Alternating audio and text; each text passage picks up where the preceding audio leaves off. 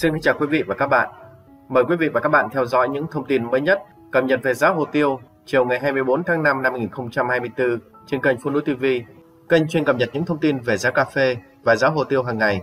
Cảm ơn các bạn đã quan tâm theo dõi và ủng hộ cho kênh trong thời gian vừa qua. Chúc các bạn buổi chiều vui vẻ. Thưa các bạn, giá hồ tiêu chiều hôm nay ngày 24 tháng 5 tiếp tục tăng cao ở các địa phương trọng điểm trong nước.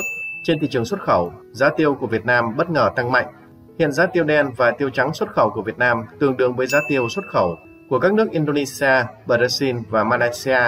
Hiện giá tiêu đen xuất khẩu của Việt Nam loại 500g trên lít và 550g trên lít có mức giá là 4.800 USD trên tấn và 5.000 USD trên tấn, trong khi giá tiêu trắng xuất khẩu của Việt Nam là 7.200 USD trên tấn.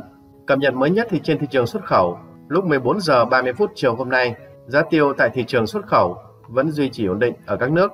Thưa quý vị và các bạn, từ đầu tuần, giá tiêu và giá cà phê trong nước liên tục đua nhau tăng giá. Nguyên nhân chính vẫn là câu chuyện nguồn cung.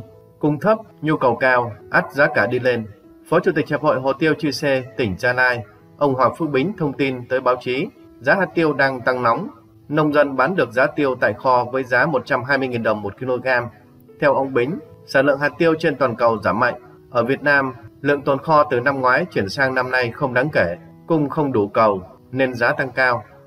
Ông chia sẻ thêm, chu kỳ tăng giá mới của hồ tiêu chính thức bắt đầu, đặc biệt chu kỳ này sẽ kéo dài trong 10 năm tới và giá hồ tiêu có thể đạt đỉnh mới là 350.000 đồng đến 400.000 đồng một kg. Mức siêu đắt đỏ. Tuy nhiên, giá sẽ có sự điều chỉnh, nhưng trong dài hạn vẫn sẽ theo đà tăng. Hiện nay vụ thu hoạch hồ tiêu ở Việt Nam đã kết thúc với sản lượng thấp, trong khi nhu cầu vẫn ở mức cao, đã hỗ trợ giá tiêu tiếp tục tăng.